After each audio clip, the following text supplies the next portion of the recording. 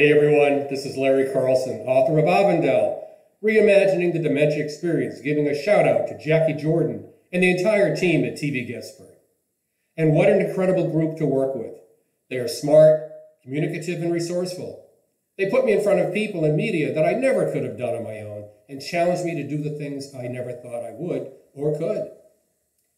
They're always there for me, providing encouragement, whether for assistance with talking points, preparation for my media appearances, and even when I had self doubts. I can't say enough great things about TVGuestpert. Thank you, Jacquie Jordan, Stephanie, Laura.